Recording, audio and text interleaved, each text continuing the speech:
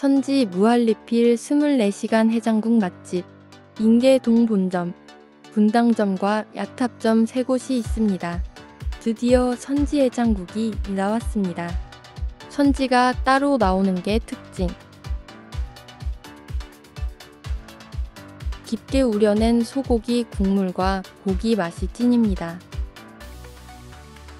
양이 많아서 리필은 안 했습니다. 선지를 들이붓습니다.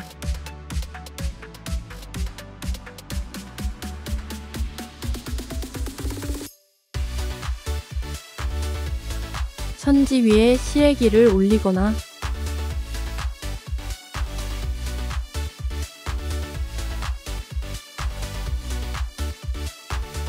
선지와 고기 위에 김치를 올려서 먹습니다.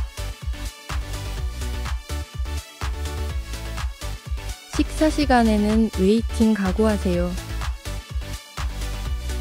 여기는 위치회관 분당지 경점입니다.